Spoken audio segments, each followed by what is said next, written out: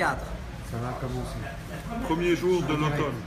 Ok, on est à nouveau en direct. Donc, émission radar numéro 24 du jeudi 21 septembre 2017. Du café de Jazet à Paris dans le 3e, près de la République. Exactement, c'est pour ça qu'on l'appelle radar, radio anarchiste diffusée à République. Et donc, euh, nous sommes ce soir à nouveau avec notre ami euh, Pierre Merachkowski qui est en train d'essayer de synchroniser son portable avec, euh, avec une, une enceinte qui va peut-être nous permettre d'entendre notre ami Eric Pététin et Frédéric Raguenès en direct ce soir, si on arrive à les joindre sur leur portable. Mais donc, qu'est-ce qu'est-ce qui s'est passé durant euh, cette petite semaine? Euh, On a eu à la fois aujourd'hui une loi qui va permettre de faciliter euh, au groupe Total euh, l'exploitation pétrolière en, Martinique et en Guyane. Et parallèlement à un tremblement de terre de magnitude euh, 7 au Mexique qui a fait 200 morts et qui bien sûr comme tous les tremblements de terre sur les zones de forte exploitation euh, pétrolifère euh, eh bien, est un tremblement de terre qui est induit par cette exploitation parce qu'on le sait depuis le début du XXe siècle, là où on extrait du gaz et du pétrole, eh bien, on change les, équilibres euh, des couches euh, terrestres et ce qui fait que les contraintes se libèrent et donc on a des survenus de, séismes euh, fréquents et, assez forts. Donc, ce qui est assez étonnant, c'est que dans les médias, ce nouveau tremblement de terre nous est présenté comme une catastrophe naturelle. Oui, effectivement, euh, le séisme lui-même est catastrophe naturelle, mais on a du mal à imaginer que les activités anthropiques industrielles, d'extractivisme, puissent provoquer ce genre de catastrophe. Et c'est ce qui se passe aujourd'hui, c'est-à-dire le dérèglement climatique euh, qui est global, qui aujourd'hui, on le sait de manière avérée, provoque des phénomènes météorologiques de forte amplitude. C'est-à-dire que contrairement à ce qu'on croit, ce réchauffement moyen, c'est une imbécilité que d'en parler comme étant l'origine du phénomène, c'est au contraire l'aboutissement d'un phénomène. Et en réalité, il y a des zones sur la planète qui se refroidissent et d'autres qui se réchauffent beaucoup plus. Et donc c'est quelque chose d'extrêmement complexe que même les météorologues n'arrivent pas à modéliser sur le moyen et le long terme, parce qu'il faut savoir que les maillages météorologiques que l'on fait actuellement permettent des, prédictions euh, sur du court terme, c'est-à-dire je crois qu'au-delà d'une semaine, euh, les probabilités euh, que la prévision corresponde à la réalité diminuent grandement, mais alors sur un mois, on oublie carrément, mais alors sur une année ou un siècle, carrément, vous oubliez totalement. Donc toute prédictivité à partir d'un algorithme ou d'un- modèle, d'une modélisation du climat sur le moyen ou le long terme est une imbécilité. La seule chose que l'on peut savoir, c'est par rapport au reliquat, c'est-à-dire en étudiant effectivement euh, les, les petites microbules de gaz dans les carottages que l'on fait en Antarctique, on arrive à reconstituer précisément avec euh, des ratios isotopiques le climat, les températures, l'hygrométrie, et donc on s'est aperçu que sur des périodes anciennes, il y avait eu des phénomènes de variabilité du climat euh, extrêmes sur des périodes assez courtes et pendant lesquelles, théoriquement, d'après l'histoire que nous connaissons, il n'y avait aucune activité industrielle ou anthropique susceptible euh, de- de- d'en être la cause. Donc, aujourd'hui, il est certain que sur le vrai phénomène avéré qui est la plus grande extinction d'espèces de tous les temps, ça, ça c'est de phénomène avéré. En un temps très court, on n'a jamais vu autant d'espèces disparaître. Et c'est effectivement lié à la déforestation, c'est effectivement lié aux activités d'extractivisme, c'est effectivement lié à la surpêche, c'est effectivement lié à la pression démographique, c'est lié à l'homme. Alors, en partie et non pas en totalité. Après, il y a ce que Vincent Courtillot et l'Institut géophysique de Paris euh, a modélisé et d'autres équipes de recherche et on s'est aperçu que une autre grande extinction d'espèces qu'on croyait liée à l'augmentation du CO2 et au réchauffement, qui est l'extinction d'espèces entre le Permien et le Trias, c'est-à-dire le moment où les dinosauriens justement vont conquérir les niches écologiques après cet effondrement de la biodiversité, eh bien au contraire n'était pas lié au réchauffement climatique, mais était lié à un, refroidissement brutal qui est lié à ce que Vincent Courtillot et ses équipes ont décrit, ce qu'on appelle les phénomènes de trappe. Donc des phénomènes volcaniques qui se situent à l'échelle carrément d'un continent et qui vont libérer à la fois du soufre, euh, du méthane, enfin des, molécules à côté desquelles le CO2 est, une molécule de faible réchauffement climatique, mais qui par contre vont faire écran au rayonnement solaire et vont provoquer ce qu'on appelle un, hiver nucléaire. Donc pendant une courte période, très rapide, les températures vont chuter les températures chutant, ça va avoir une influence surtout sur les océans. Et effectivement, il y a eu 90% de la biodiversité océanique qui a disparu et carrément toutes les espèces euh, terrestres. Donc, euh, presque toutes. Et donc, après, dans le cadre du réchauffement climatique qui a suivi, donc le Trias est une période extrêmement chaude où il y a la Pangée, donc il y a un continent unique, donc il y a des endroits qui sont extrêmement continentaux avec de grandes sécheresses, il n'y a qu'une très faible période de pluie, et eh bien là, les dinosaures vont, s'adapter, se diversifier et conquérir les niches écologiques. Et en fin de compte, ces périodes de réchauffement sont toujours des périodes de forte biodiversité. Donc aujourd'hui, tous les modèles dont on nous a bassinés depuis de nombreuses années s'avèrent être caduques, obsolètes et même être des contre-vérités. Et effectivement, la science ne se fait pas l'applaudimètre, mais il n'en est pas que de la science, il en est de, de toute vérité. Et elle est aussi évolutive, elle est quantique. Ça, c'est Albert qui euh, décrivait ça il disait qu'il était stupide de croire que l'évolution de la science est un phénomène continu. Au contraire, la, science, comme les arts, on évolue par saut. Il y a des régressions. On le voit sur la sculpture dans l'Antiquité. On a un moment, au Moyen Âge, on repasse, on a des représentations où il n'y a même plus les proportions, il n'y a plus de point de fuite, alors que on regarde les Grecs et tout ça, et on voit leurs sculptures et, leurs bâtiments, et on se dit, mais qu'est-ce qui s'est passé là? Ils ont fermé toutes les universités, il y a Macron qui est arrivé et qui a dit, ça y est, tout, le monde... Dire notre ami Albert? Oui, voilà. Et, donc, concevoir l'histoire comme étant une espèce de progrès euh, euh, régulier où l'homme s'élève vers une, vers une espèce d'état de demi-dieu, c'est d'une stupidité euh, crasse. Et effectivement, l'humanité a connu des périodes de régression, a connu des périodes de prospérité, à la fois matérielle mais aussi intellectuelle. Et aujourd'hui, force est de constater malheureusement qu'au niveau matériel, on est dans une période de fort matérialisme où on a des, quelques pays qui euh, consomment 80% des ressources de la planète, alors que 80% des gens qui vivent sur la planète vivent avec moins de, de 20% de ces ressources. On a plus de 100 000 personnes qui meurent de faim euh, tous, les, jours. On a plus d'un milliard à 1,5 milliard de personnes qui ont faim tous les, jours. On a plus de 2 milliards de personnes qui n'ont pas accès à l'eau potable. Donc on a des vrais problèmes euh, qu'il faut régler. Euh, on a une démographie euh, qui est inquiétante parce qu'on est déjà à plus de 7 milliards et on nous promène 9 milliards pour euh, très bientôt. Donc la pression sur l'environnement, la pression humaine sur l'environnement devient intenable.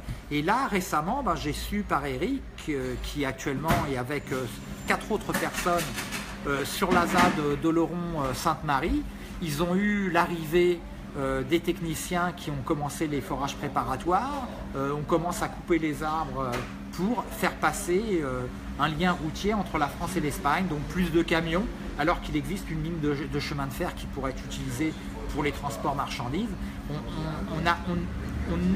On, accentue encore cette pression et en plus on l'accentue en créant les conditions de l'aggravement de la situation. Parce que qui dit camion, bah, dit plus de CO2, dit plus de pollution, dit, dit encore plus de déprédation. Donc c'est un cercle vicieux qui semble... Euh, sans parler du danger de la route. Sans parler des dangers de la route. Mais bon, euh, j'aimerais passer... Est-ce que tu as préparé ton petit texte, Pierre? Donc je vais, je vais laisser la parole à Pierre pour qu'il nous élève un petit peu parce que... Le feuilleton. Le, le, non, c'est pas le feuilleton, c'est...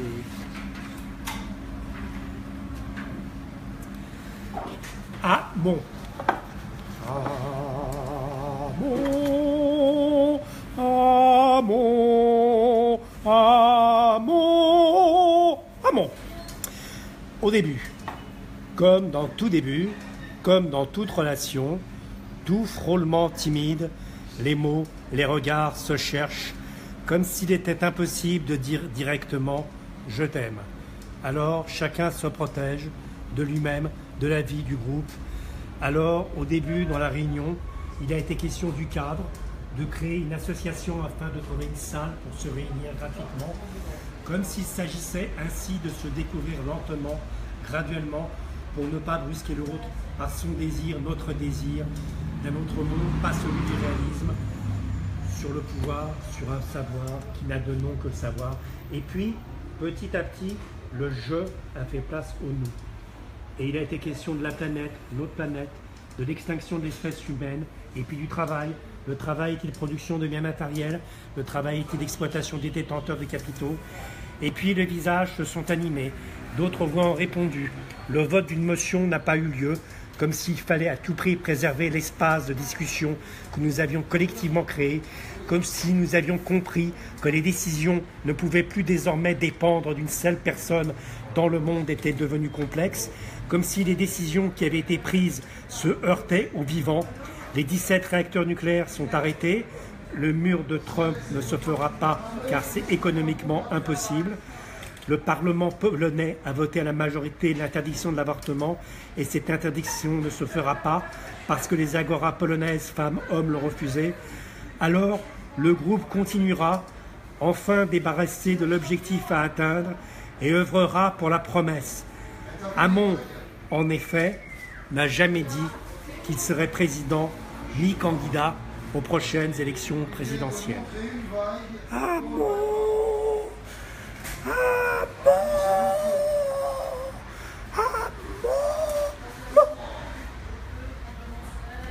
Hamon. Donc Hamon, c'était pas du tout le contraire de Laval. Alors, Hamon, est-ce que c'est Hamon rat Ah, Je ne sais pas.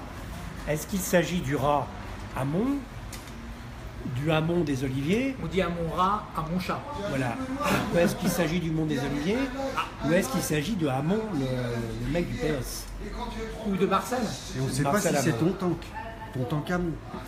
Ouais, il y a tout un Hamon. Alors, euh, est-ce que vous voulez une réponse? Euh, C'est une question. Est-ce qu'il faut des réponses? Non.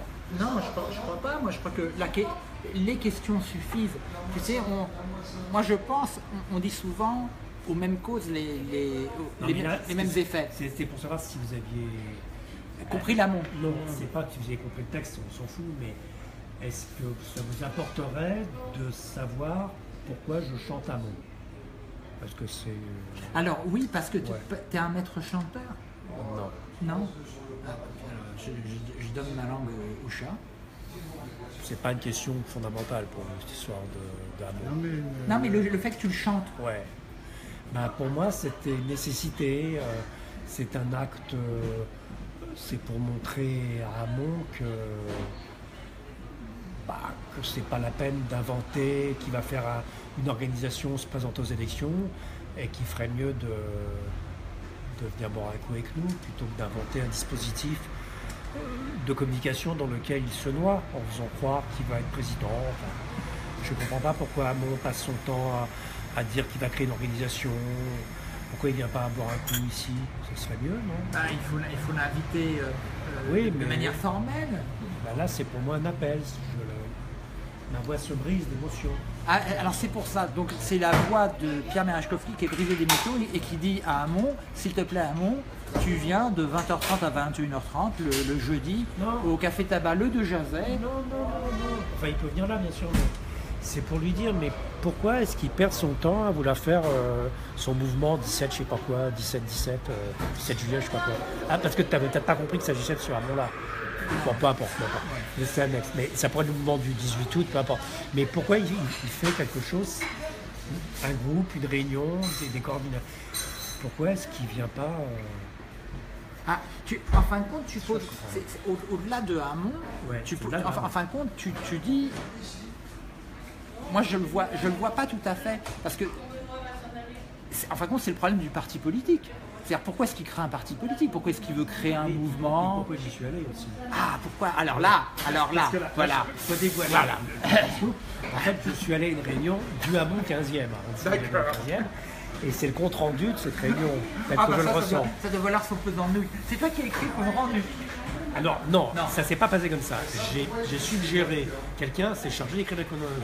Mais j'ai pensé que Hamon, euh, disant qu'il fallait créer une nouvelle organisation politique, j'ai dit, bah, dans ce cas-là, chacun va écrire son compte rendu, Ouais. et moi j'en écrirai un que je vous transmettrai. Mais là, personne s'y opposait, ils m'ont dit que c'était plutôt une bonne idée. Alors, l'histoire du vote, c'est ça qui m'a énormément perturbé, c'est qu'ils ont voulu savoir si tu allais à la manifestation, je sais pas quoi, la CGT du 12, euh, hein, tu vois. Alors, ils- ils- certains voulaient y aller, mais ils voulaient qu'on fasse un vote pour savoir si le groupe 15e irait, il n'irait pas. Alors, ils étaient tous, en gros, ça embêtait un peu la, les deux personnes qui animaient la, la- elles sentaient que la majorité voulait quand même aller à la manif sans attendre leur d'amour. Bon, c'est ce que j'ai ressenti. Et moi, j'ai dit que je ne voterais pas. Alors m'a- j'ai dit, euh, je ne veux pas voter. La femme m'a dit avec insistance, bon ok, mais ça serait correct que tu nous dises pourquoi tu ne veux pas voter, parce que c'est pas un vote. Alors j'ai expliqué ce que tu dis dans le texte, que le vote s'était dépassé, que les gens ne avait plus de décideurs politiques. Et ce qui m'a énormément perturbé, j'espère que vous allez me répondre, c'est qu'en fait ils n'ont pas voté. Mais moi j'ai pas- dit que je voulais pas voter, mais j'ai pas dit que le groupe ne devait pas voter.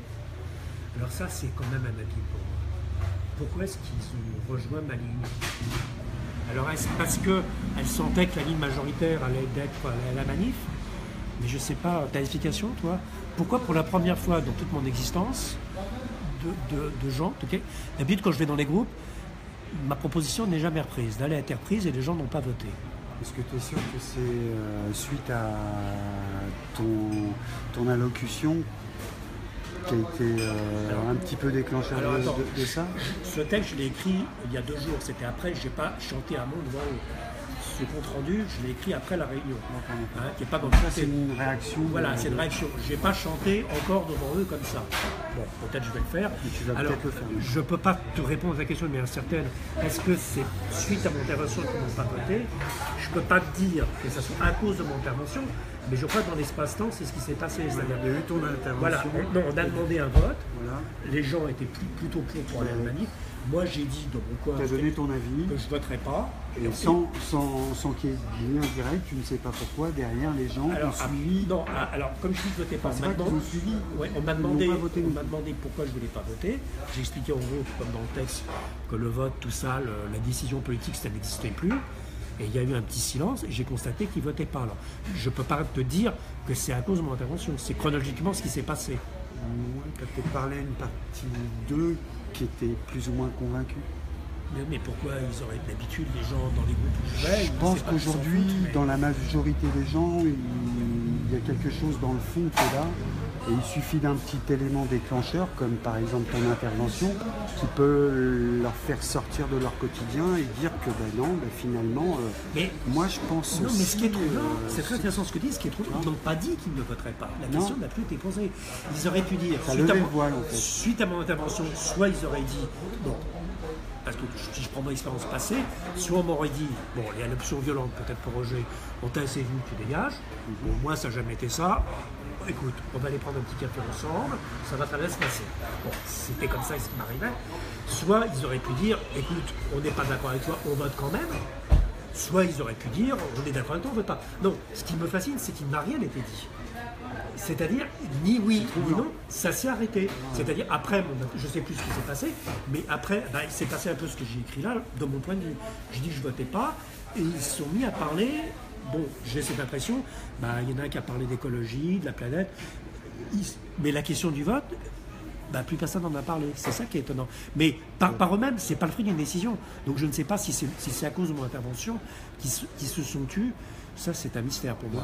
Peut-être que ton intervention a appuyé sur quelque chose qui Oui, mais était avant, sous-jacent. Oui, mais avant, ça faisait pas ça. Avant, on me disait d'arrêter. Enfin, on ne répondait pas. Enfin, je sais pas. euh, ça déclenchait pas une, euh, un changement de cap de la réunion. Mais déjà, la prise de conscience, faut l'avoir. Et puis, tu passes par des étapes. Alors, ok, tu peux être convaincu, craque, mais toi, quand tu t'ex- t'exposes ton opinion aux autres, tu sais pas du tout comment ils vont réagir. Mais ça veut dire que maintenant- tu titilles peut-être Ouais, une partie d'eux que maintenant, qui, qui l'air est du- convaincu. Ça veut dire que maintenant, je suis dans l'air du temps. Je suis comme tout le monde. alors, Ou c'est peut-être tout le monde qui t'a rejoint. Très angoissant. Ou ça. c'est peut-être le, monde qui t'a Oui, mais c'est pire. Pourquoi c'est pire? Bah, parce que si le monde m'a rejoint et que je suis avec le monde, euh, je ne sais pas ce que je vais devenir. Tu fais que, partie du monde de toute façon. Ouais, mais qu'est-ce que je vais devenir? Pourquoi cette question? Bah, Qu'est-ce que je vais faire avec vous si je suis comme vous? Non, t'apportes ta différence. Bah non, puisque tout le monde dit que j'ai raison et vote plus. euh, si je dis demain il faut manger des bananes, si vous mangez des bananes, je suis, je suis plus avec vous. Parce que je suis plus dans la contradiction avec vous. On est quand même anticonformiste. on- Mais pour, pour- pour moi, être avec, pour moi, être avec l'autre, pour moi, être avec l'autre, c'est justement c'est être jamais pareil que l'autre. Sinon, complètement, complètement. sinon on est avec eux justement. Alors, mais regarde nous trois. Ouais.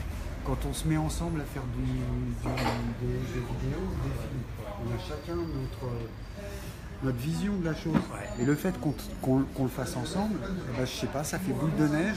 Et toi, tu apportes ton truc, moi j'apporte le mien, Roger apporte le sien. Ah, Et, et ça fait une espèce de Ah, ce symbiose qui entre nous c'est qu'il n'y a que moi qui ai fait un texte et qui ai chanté. C'est ça qui doit me ça. perturber.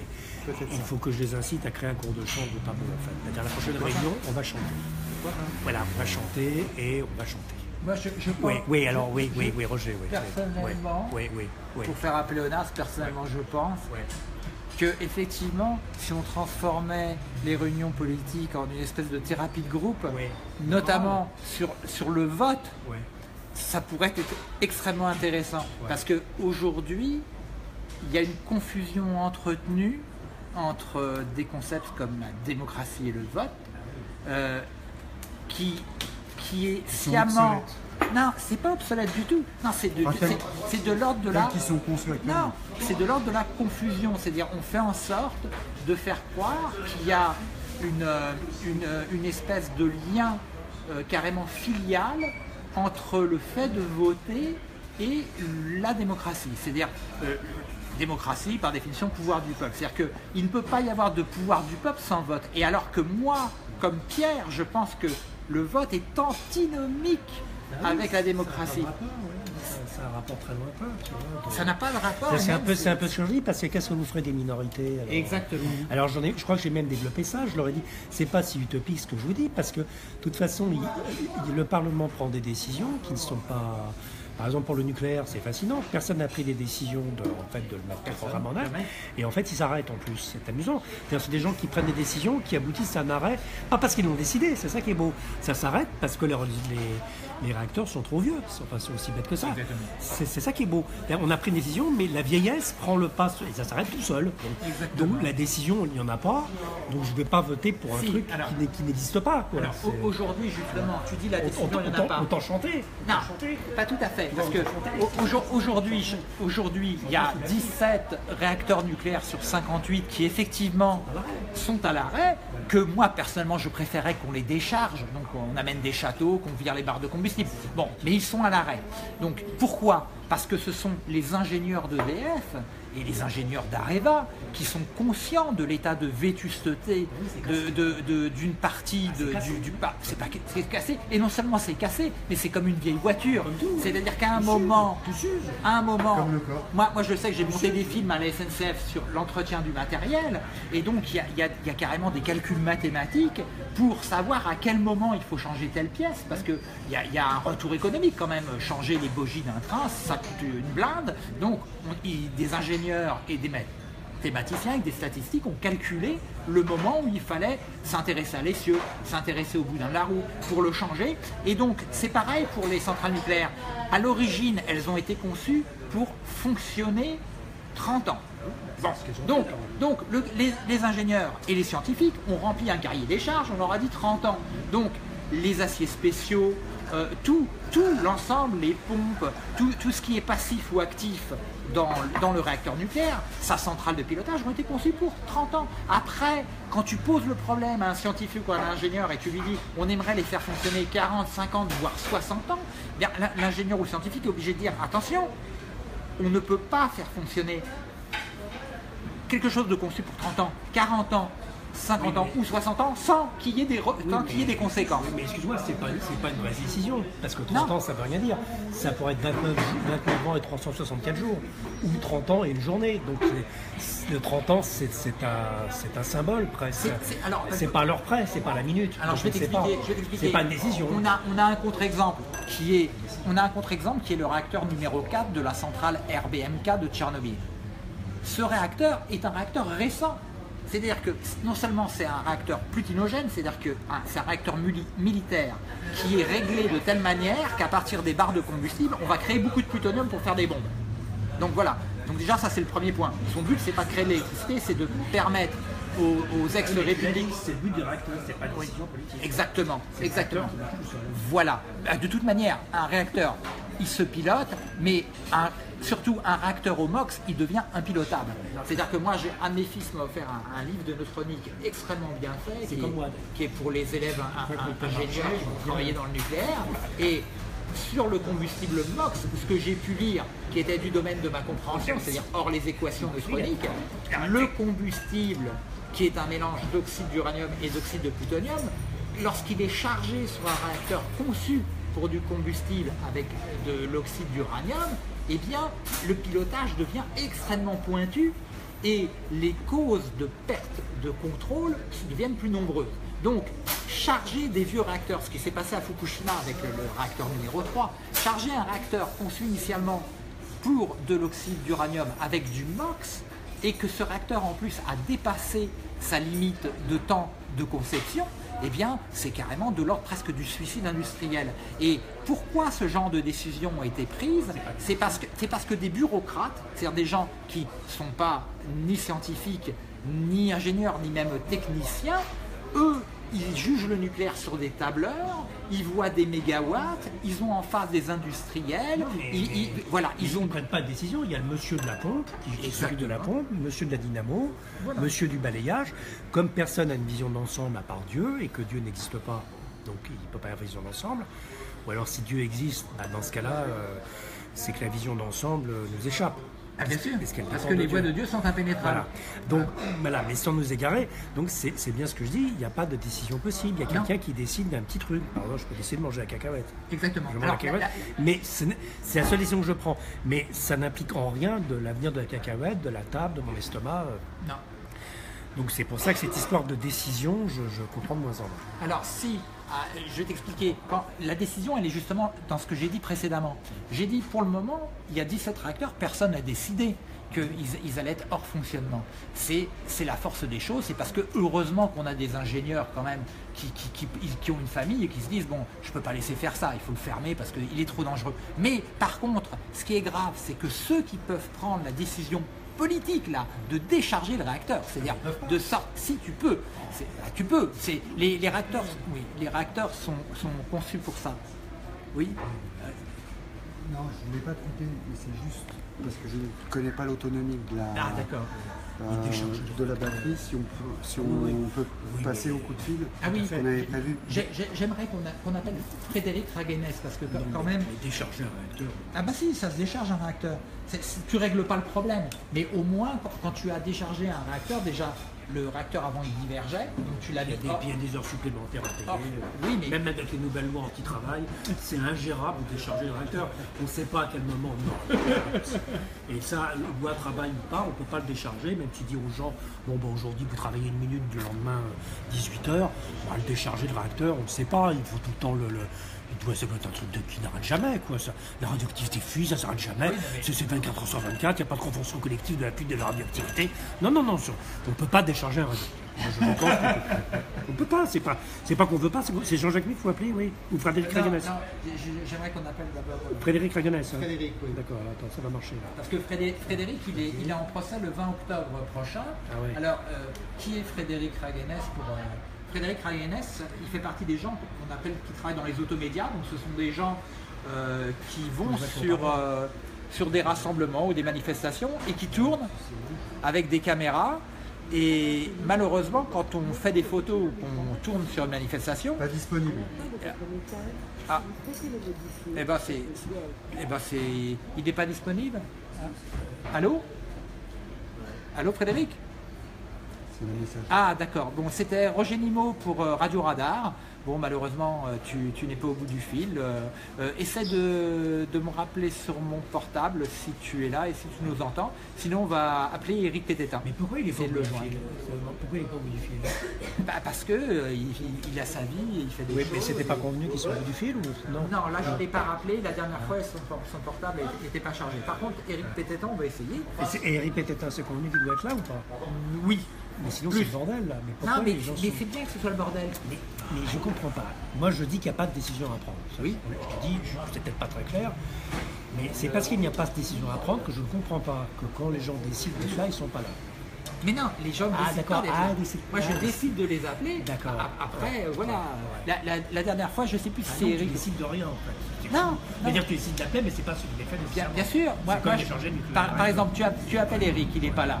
Bon, ça m'empêchera pas de parler de la ZAD de Laurent Sainte-Marie, comme je- j'en ai déjà parlé un petit peu. C'est-à-dire qu'aujourd'hui en France, on va relancer de l'extractivisme. C'est-à-dire il y a même Annie Tebomoni qui a, qui a tiré la sonnette d'alarme par rapport à la mine de Salo. C'est-à-dire qu'on rouvre une mine qui va générer des poussières d'amiante. Euh, on, est, on est même en train d'envisager de réouvrir des mines d'uranium. Euh, on rouvre des mines, euh, je crois, de plomb. Enfin, c'est ignoble. C'est-à-dire que aujourd'hui, on se prépare à, à faire des choses qu'on avait normalement arrêté de faire dans les années 70, tout simplement ben, pour euh, des questions de, fric. de fric, voilà, des questions purement financières et qui n'ont rien à voir euh, avec euh, l'intérêt général et surtout pas euh, l'intérêt sanitaire et social. Parce que on, on connaît- Ah, on est. Ben, dis-lui qu'on l'appelait, vas-y, À la fin de votre Bon, bah, on t'appelle. mais- Attends, attends. À toi. Ouais, bon, c'est Mirage, c'est Radio Radar, etc. On t'appelle, mais il n'y a personne. Alors, euh, est-ce que c'est une décision de ta part de. Est-ce que c'est une conséquence d'une décision de t'appeler et que tu répondes pas? Mais enfin, c'est pas que c'est pas ça le problème. hein, c'est pas du tout un procès. Mais est-ce que ça veut dire que les décisions Voilà, la question est la suivante. J'essaie de réfléchir. Il a, il a été décidé de t'appeler. Bon, alors ça c'est intéressant. Mais le fait que tu répondes pas, est-ce que c'est le fait de ta décision? Est-ce que ça veut dire que notre décision se heurte à une non-décision? Dans ce cas-là, est-ce que ça veut dire qu'il y a vraiment une décision? En fait, est-ce qu'on peut prendre des décisions quoi? Voilà. Je Tu fais peux- la bise, Tu peux rappeler quand, quand tu peux. À bientôt, à bientôt. À plus. À Eric. À bientôt. À bientôt. Là, là, euh, Eric lui aussi va être en, en procès au mois d'octobre pour, pour, pour un graffiti euh, par rapport à la mort de Rémi Fraisse. C'est-à-dire qu'il a écrit sur une euh, gendarmerie, alors je ne sais plus où exactement, mais il a écrit euh, Rémi, Rémi Fraisse, notre frère assassiné. voilà, donc pour ça, il va, il va être en nouveau en procès. Il risque la prison parce que actuellement, ils sont avec cinq personnes à essayer d'éviter un prolongement routier vers l'Espagne. Et donc ça embête beaucoup les gens dans la, dans la région. Il semblerait que c'est le, un prolongement routier un, des plus chers qui n'ait jamais été fait parce que c'est la vallée d'Aspe, donc il faut des ouvrages d'art, des tunnels. euh, et donc euh, sur un kilomètre, je crois qu'il dé- il dépense plus de 60 millions d'euros ou 65 millions d'euros pour un, pour un kilomètre euh, de, de- de réseau routier. Et j'ai vu les photos, c'est un endroit, c'est de la forêt, donc ils sont hébergés par euh, un propriétaire qui a un terrain qui leur a permis d'installer une petite ZAD vu qu'ils ne sont que, que 5. Malheureusement, ben, on peut le constater, c'est pas l'été indien. Donc ils ont, eu un mois de septembre extrêmement pluvieux. Malheureusement, notre ami Eric, ben, il ne rajeunit pas, il est comme nous et il a des problèmes de santé. Donc euh, j'en profite pour euh, lui passer le bonjour et lui, dire bon courage. J'ai lancé un- une petite souscription pour les gens qui pourraient donner qui 1 euro, qui 2 euros pour les aider parce que sur place euh, euh, ben, ils sont assez démunis et ce sont des gens qui n'ont- pas d'argent. Et pour faire la cuisine ben, il faut acheter des bouteilles de gaz. Donc euh, ils aimeraient pouvoir s'acheter des bouteilles de gaz et, pouvoir entretenir une présence sur place. Donc depuis maintenant plus de 24 heures les travaux ont été lancés. Donc il y a des, techniciens qui sont venus faire des forages. On commence à couper les arbres. Donc ils ont ils ont le moral dans les chaussettes. Moi, j'ai lu un poste de Muriel, la fille adoptive d'Éric Pététin, où elle a dit que tous les cinq, quand ils ont vu arriver les engins de chantier, les forages, ils se sont mis à pleurer. Et que bien sûr, les gendarmes, eux, étaient euh, hilars. Voilà, c'est le, le monde dans lequel on vit aujourd'hui. C'est-à-dire qu'il y a des, petites poches de, résistance non violente, mais qui, s'affrontent à un système qui est comme un rouleau compresseur et qui est extrêmement serein et presque souriant de faire, avancer euh, son inéluctable destruction. Et moi, ça me rappelle, parce que j'ai été aux, aux journées des ambassadeurs qui étaient organisées euh, au ministère des Affaires étrangères, et là, j'ai entendu un commissaire européen qui s'est exprimé par rapport au Brexit. Et je n'ai pas réagi, je n'ai posé aucune question, je n'ai pas voulu réagir, tellement j'ai trouvé son intervention scandaleuse.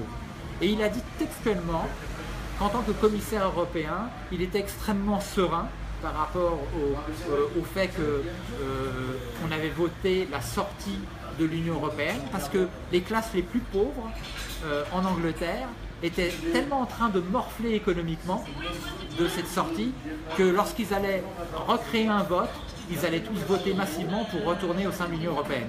Donc c'est assez ignoble, c'est-à-dire c'est j'avais l'impression de voir un type qui se réjouissait que les mesures de rétorsion économique qui, étaient euh, euh, les plus pénibles pour les plus pauvres allaient permettre, si on refaisait un référendum, d'inverser la tendance.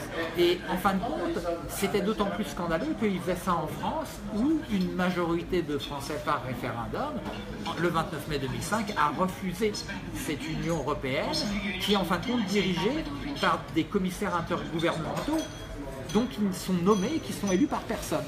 De la même manière que moi, euh, hier, j'ai voulu envoyer 20 euros à un ami qui était SDF, qu'on voyait souvent Sébastien sur la place de la République au moment des nuits debout. Donc il, a- il est sur Dax aujourd'hui, il a trouvé un travail par intérim qui pourrait devenir un travail en CDI.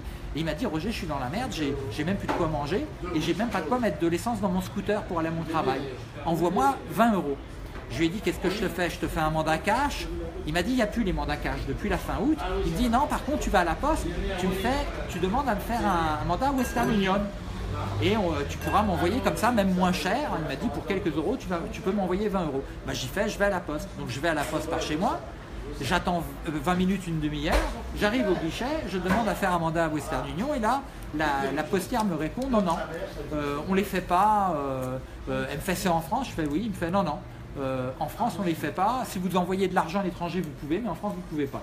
Donc déjà, au niveau constitutionnel, il y a une discrimination. Tu envoies de l'argent en France, tu peux pas. À l'étranger, tu peux. Théoriquement, au niveau légal, c'est pas possible. Mais je lui dis, mais mon ami est à la poste de Dax en ce moment avec une, responsable de la poste qui attend l'argent. Donc elle lui a dit de faire un mandat à Western Union. C'est donc que vous pouvez le faire. Et donc je prends mon portable, j'appelle mon ami qui me passe la postière, je passe la postière à l'autre postière. Et là, je sens que l'échange est assez chaud entre les deux postières qui travaillent quand même toutes les deux pour la banque postale.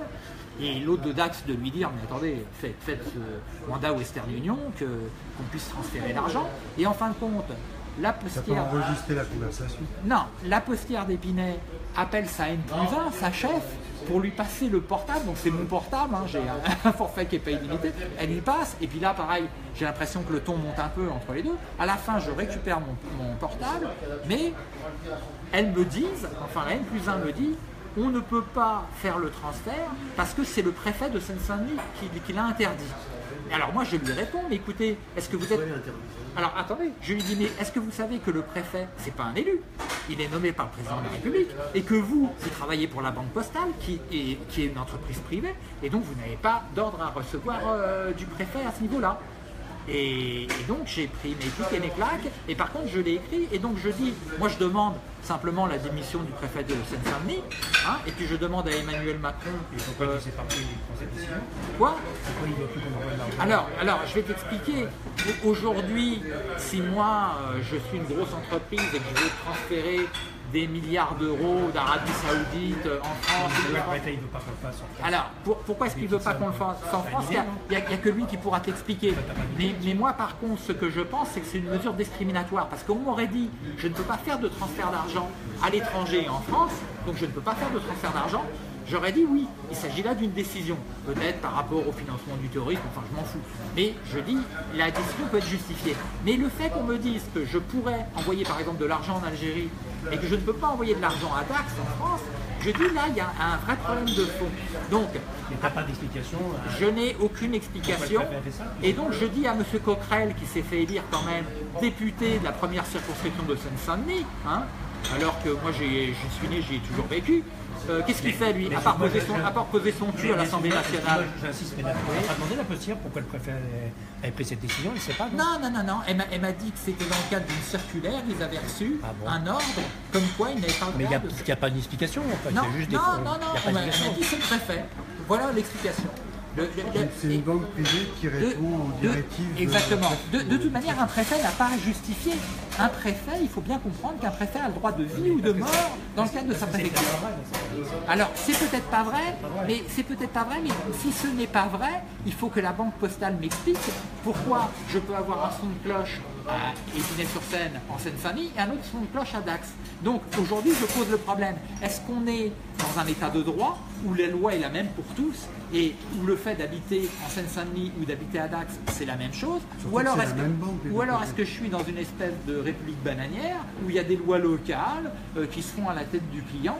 Moi j'ai envie de savoir parce que on- il paraît qu'on va euh, euh, assouplir, euh, libérer le travail ou des trucs comme ça, mais moi j'estime que ça cette, cette mesure-là c'est une mesure de type fasciste, euh, de restriction de mes droits parce qu'il s'agit de mon argent et de ce que je veux en faire. Et donc à partir du moment où moi je mets mon argent dans une banque qui me dit que je ne peux pas en disposer et que je ne peux pas en faire ce que je veux, eh bien c'est très simple. Ils ont le droit de vie ou de mort sur moi.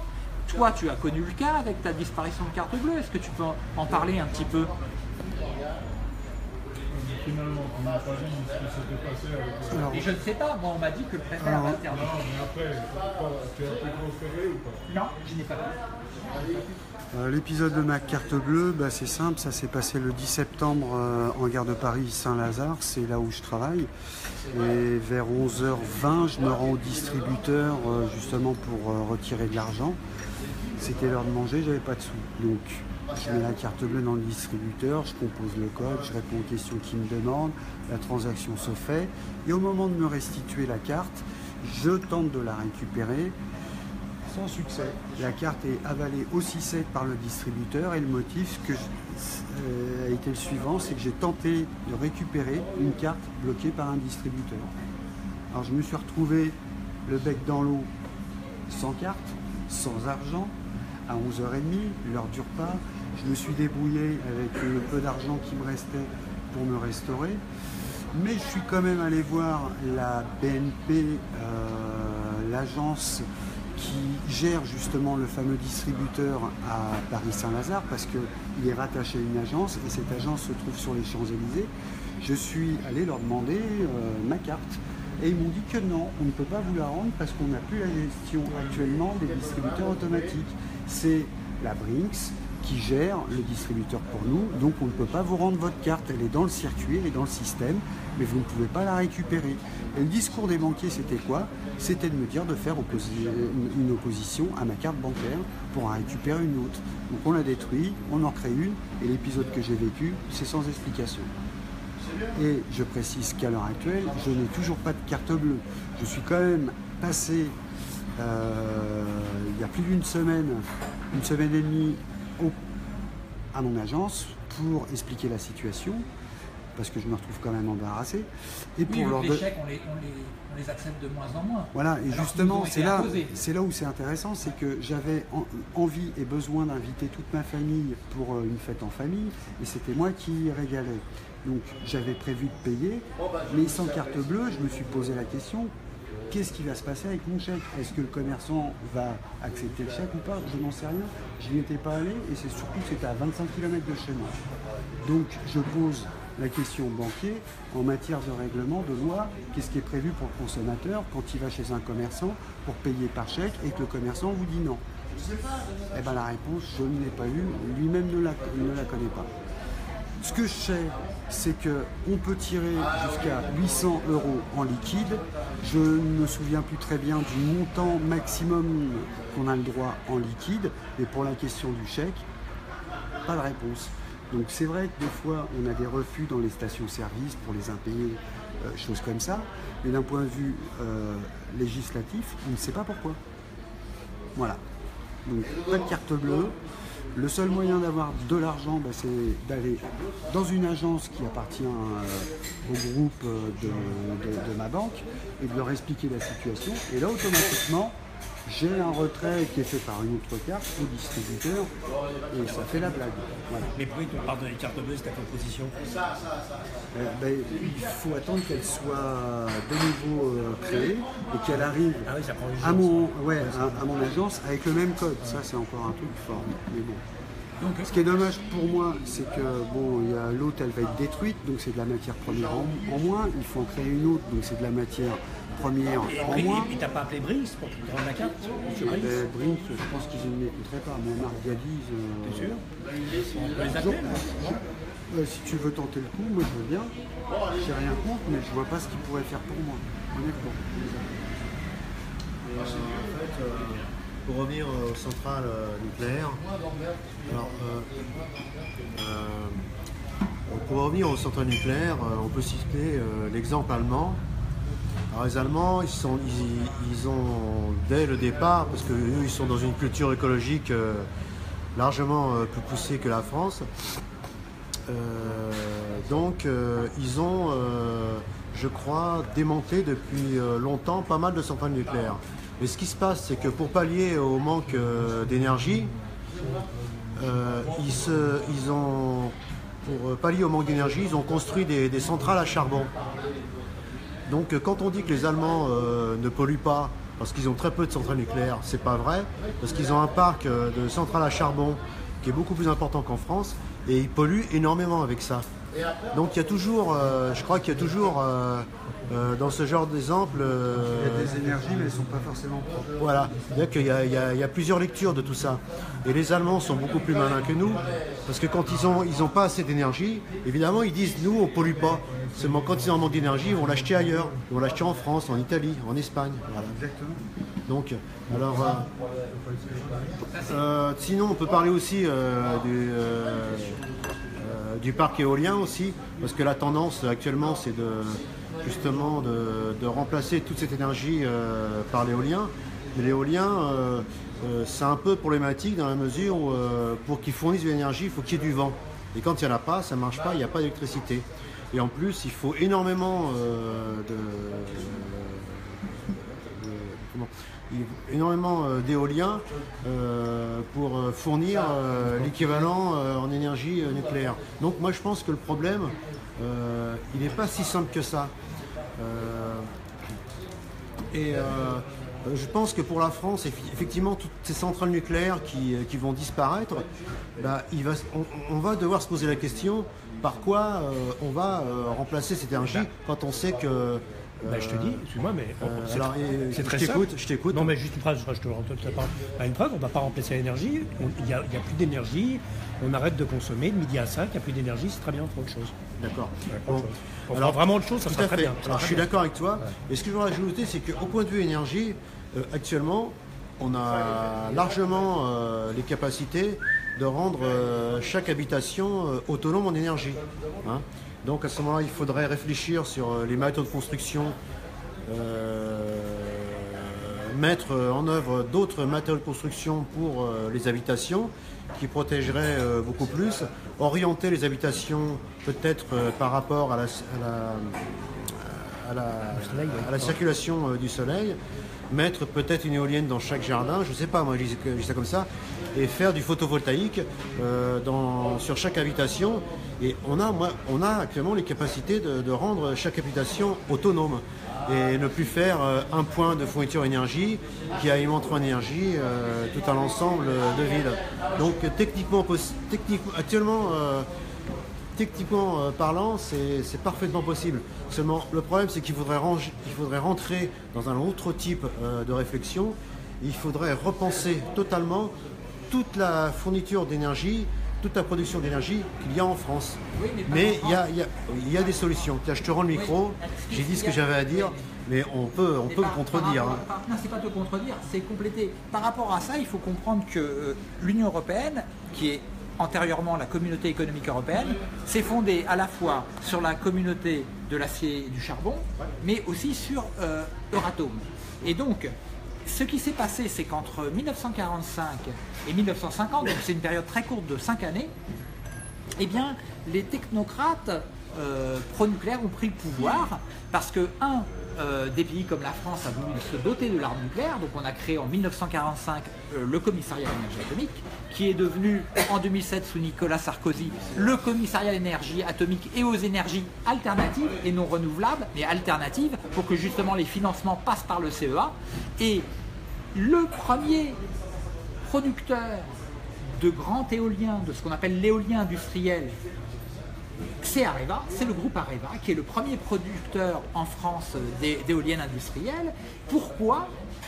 Parce que euh, ont des puissances de l'ordre de 250 euh, kilowatts minimum et qu'ensuite on élève en tension ce courant alternatif pour le passer sur les lignes très haute tension 300 000 volts pour le transporter. Donc ce courant est produit industriellement localement, mais après il est distribué et donc il n'est pas consommé local.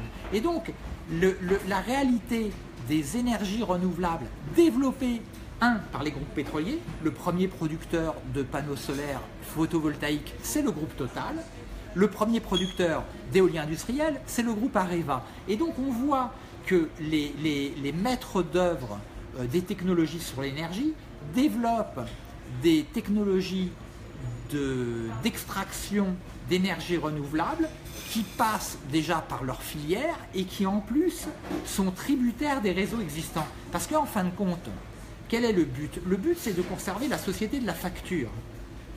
Le but, c'est de faire en sorte que chaque famille française, pour son gaz, pour son électricité, ou même dans le cadre de la civilisation automobile, euh, euh, pour, pour son carburant, qu'il s'agisse de diesel ou, d'essence, passe par des grands groupes qui accumulent des bénéfices. Donc, on est là sur la taxation, c'est-à-dire le- la TIPP, c'est la taxe intérieure sur les produits pétroliers, en est un excellent exemple. C'est-à-dire qu'aujourd'hui, on pourrait développer une agriculture euh, qui, par exemple, fonctionnerait avec des engins qui fonctionneraient au biogaz et faire en sorte qu'une partie des pailles ou, ou de ce qu'on appelle des, résidus agricoles euh, soit méthanisée, mais localement et consommée localement. Il ne s'agit pas de faire comme on fait actuellement de- des industriels de la méthanisation où dans la ferme des 1000 vaches, le but n'est pas d'avoir du lait, le but est d'avoir les, les, les bouses de toutes ces vaches pour les méthaniser. Le but de ces grandes fermes industrielles, c'est avant tout de produire du méthane, de, de produire des énergies qu'on va te classer bio. Aujourd'hui, on va doubler la production d'huile de palme pour faire des biocarburants. Donc, ces aberrations écologiques qui sont présentées comme étant bio, comme étant l'avenir, de la même que la voiture électrique, elle, elle n'a d'avenir que, euh, je dirais, le label que lui collent les gouvernements et les, transnationales qui font des bénéfices dessus.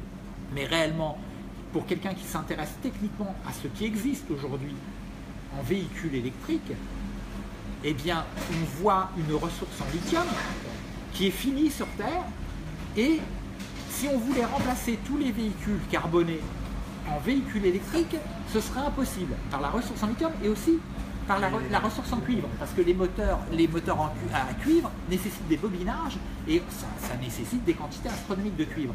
Donc, Tu veux pas que j'appelle la Juste une petite réponse. Mais si tu veux, je- si. Hein. Euh, mot. Euh, Ton raisonnement est tout ce qui est de plus juste. Euh, si on reste sur l'aspect technique, il faut savoir que quand tu mets euh, un moteur à combustion, c'est 50% de perte d'énergie. C'est-à-dire que quand tu mets euh, euh, 50 litres euh, de gasoil ou d'essence dans ta voiture, euh, il y en a 25 que tu n'utilises pas, qui partent dans la nature. Donc, alors que le, moteur électrique, si on reste sur l'aspect technique, c'est quand même euh, 95-96% de. euh, comment dire, euh, comment on appelle ça? Euh, Enfin, tu n'as que, que 3% de perte, tu vois. Le moteur électrique, on n'a que 3% de perte. Et en face, il y a le moteur à combustion qui lui a 50% euh, de perte. Bon, je ne vais pas les aspects techniques, tout ça, les frottements, machin truc. Donc, euh, Oui, mais Moi, je pense les, que- les voitures du groupe Bolloré, ils- leur, euh, leur batterie ne fonctionne que si elle reste à 70 degrés. Donc en hiver, il a été calculé Ok, ouais. qu'elle qu'elle consomme l'équivalent de 10 kW pour rouler avec l'équivalent de 20 kW. Donc elle consomme 9 fois plus de courant. Et- Vas-y, et- vas-y, et- prends le et- micro parce que- et Ce qu'il faut voir aussi, c'est que quand tu recharges une batterie lithium, oui, non, ça me fait pas rire. Parce que, par exemple, pour un gramme, je- pour un gramme d'uranium de brûlé, t'en as, t'en as plus. Déjà, on transforme, on transforme cette énergie nucléaire en énergie thermique. Cette énergie thermique est transformée en, éne- en énergie mécanique. Tu as déjà 40% de perdu. Donc, de, de ton gramme, eh bien, tu as déjà 0,4 grammes d'uranium qui sont perdus. Mais cette énergie électrique est portée à haute tension. Elle passe dans des lignes à haute tension. Elle est transportée sur des centaines de kilomètres. Perte en ligne. Tu peux avoir 15 à 20% de perte en ligne. Et ensuite, cette énergie électrique est transformée en énergie chimique dans des batteries. Donc, à nouveau, une perte de 10 à 15%. Et après, cette énergie chimique est retransformée en énergie électrique. Et après, cette énergie électrique est transformée en énergie mécanique. Et quand tu arrives au bout, tu constates que ta voiture électrique, quand on brûle 1 gramme d'uranium, elle en aura consommé à peine 0,2 grammes. Voilà, elle a roulé avec 0,2 grammes. Donc tu as 0,8 grammes, donc plus de 80% de l'uranium qui est, hyper polluant, qui, est, voilà, qui génère énormément de déchets. On voit le problème avec Bure, qui, qui, qui sert à rien. Donc présenter euh, le véhicule électrique comme une solution, moi je l'avais dit déjà euh, dans les années euh, 80 à un candidat écologiste en Seine-Saint-Denis, j'a- j'avais dit ça correspond à une voiture qui a un moteur à combustion interne mais dont le pot d'échappement donne dans la chambre de tes petits-enfants. Ça veut dire que dans l'immédiat, effectivement, un bus électrique, zéro émission de CO2. Par contre, par contre, les déchets nucléaires qu'il va falloir garder pendant des millénaires, parce qu'aujourd'hui, il faut savoir que si Vercingétorix avait eu des centrales nucléaires, on serait encore en train de garder Non, des, le- des le- déchets extrêmement Et dangereux. puis le bus, c'est insupportable. Je Ah. supporte pas le bus. C'est comme les chauffe-eau. Non, c'est comme les chauffe-eau, bah oui, c'est un truc énorme qui roule, qui bouge tout l'espace. Moi, quand je vois un bus, je suis en vélo, j'ai envie de l'écraser. Non, mais je le dis franchement, hein, je supporte pas les bus. Ça me, ça m'agresse physiquement en vélo. Ça prend tout l'espace, ça roule pas, ça s'arrête tout le temps. C'est, je sais pas qui a inventé ces bus. Il faut vraiment supprimer les bus et les voitures. Voilà. Ni bus ni voiture. Voilà, ni bus ni voiture. Voilà. Ni bus ni voiture. Voilà. Ni bus ni voiture. Voilà, ni bus, ni mais, voiture. mais tu, Non, non, tu- mais bon, tu c'est sais que tu approches que ce que raconte Eric Pététin, parce que Eric lui, le monde de, de la bagnole, c'est. Le bus, c'est Drancy. Oui, En fait, c'est Drancy. oui, C'est exactement. un moyen de mettre les gens à Drancy gratuit. Enfin, il y a un coût, bien sûr.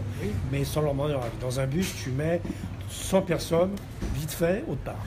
Mais- Et dire que c'est dangereux. Et tu, tu sais que Non, c'est vrai, à, à Tchernobyl, l'évacuation de, de- de toutes les communes autour de Tchernobyl, ce sont des bus. Et effectivement, les dernières images qu'ont eu les femmes et les enfants qu'on a, des- a, évacuées, c'est le bus. Et en 14, s'il y avait eu, on était en 1914, ça n'aurait pas été le taxi de la Marne, ça aurait été les bus de la Marne, et ça aurait été encore pire. Ils auraient déplacé des milliers de troufions en bus, ni bus, marrant. ni CGT, ni voiture. Voilà. Sur, sur Tchernobyl, il y a un truc qui est très marrant. Je n'en parle plus. c'est que le, le moyen de détecter euh, euh, la, la- la radiation, c'est, je crois que c'est par rapport à une. euh, Alors, je sais pas, je suis pas technicien. C'est par rapport, enfin, tu, c'est par rapport à la pellicule d'un film.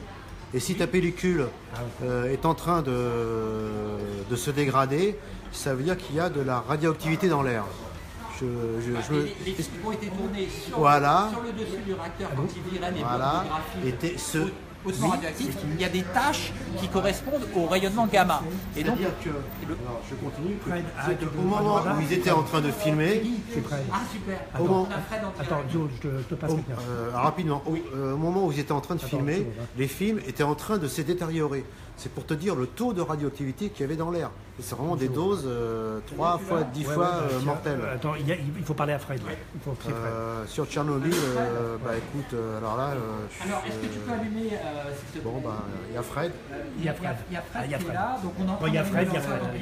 Fred, Fred, Fred, qu'est-ce que je fais, pouvoir chanter une chanson Maintenant, pour, c'est Non, non, non, c'est parce que. C'est- Allô, Fred. Fred, je rends le micro. Non, non, c'est Fred. Quand c'est Fred, c'est Fred. est-ce que tu peux, Fred. est-ce que tu peux nous Fred. parler donc de- du, procès du des 20 Fred. octobre 2017 euh, Et des, des raisons déjà pour lesquelles euh, à, à nouveau tu vas être en, en procès et, euh, et, et de la mobilisation euh, obligatoirement nécessaire qui- qui- qu'il faut pour euh, t'éviter de- d'aller en prison. Voilà, tu es en direct Fred.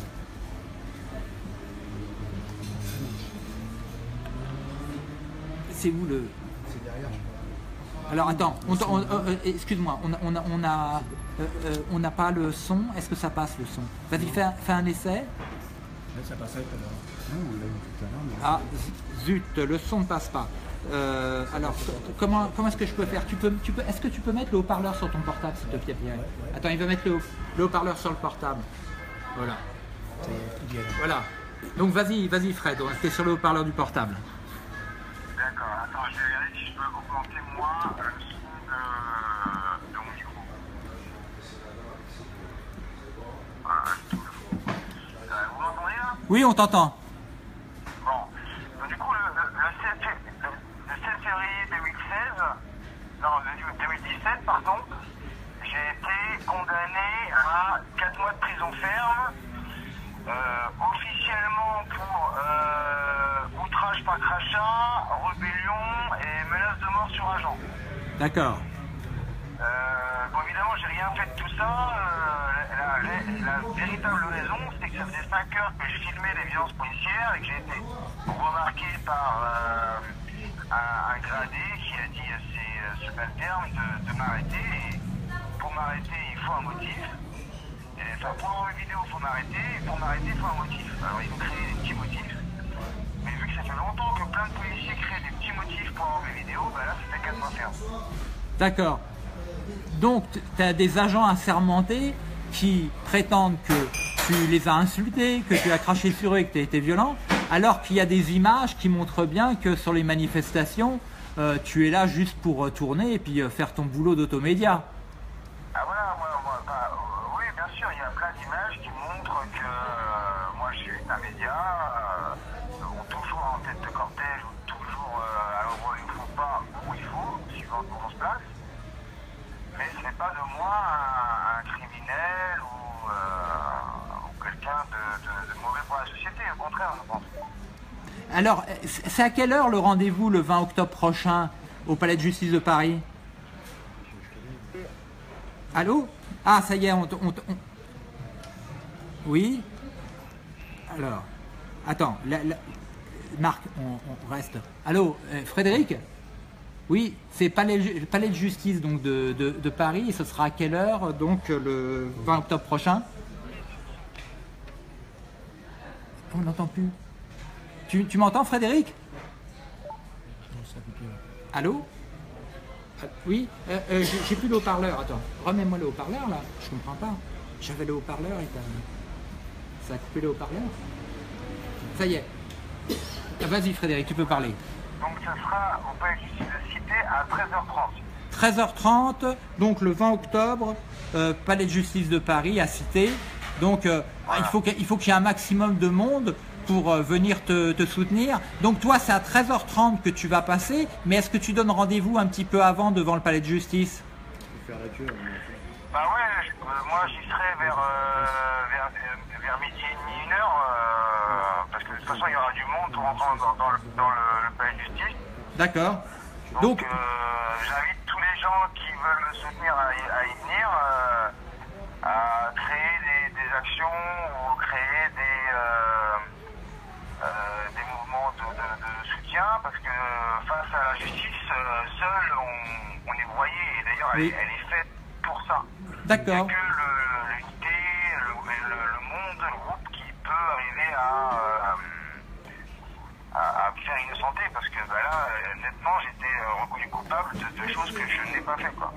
et, est-ce que tu es au courant que trois jours avant, Éric Pététin, lui, il va être en procès pour un tag par rapport à la, sur une gendarmerie par rapport à la mort de Rémi Fraisse? Allô Oui, oui, oui. Et, et c'est quoi la question Non, euh, je suis pas au courant.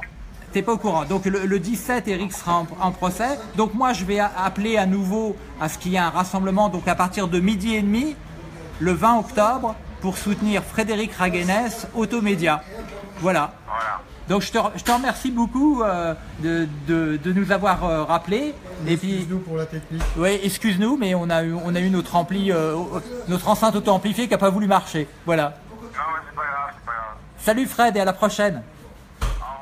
Ciao. Ouais. Bah, que dire euh, Moi, je pense que. Moi, personnellement, euh, je suis pour euh, les énergies euh, renouvelables. Et je pense que plus on avancera dans le temps, euh, malheureusement ou heureusement, on, voit- on verra fleurir sur nos beaux paysages de France et de Navarre euh, des éoliennes.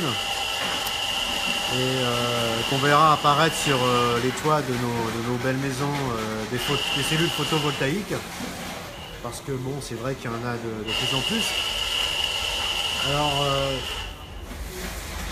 moi, je suis personnellement, je suis pour la disparition des énergies, pour la, la non-utilisation des énergies fossiles. Moi, c'est ce que je pense personnellement.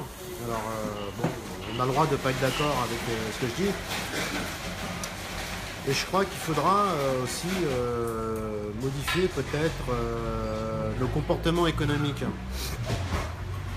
Mais avec la technique actuelle, tout ça c'est parfaitement possible, mais on est encore à obéir à une certaine logique économique qui est quand même la production de ces énergies fossiles qui, qui, qui, dans toute la chaîne entre la production et le- la mise, la fabrication du carburant génère euh, énormément euh, d'argent.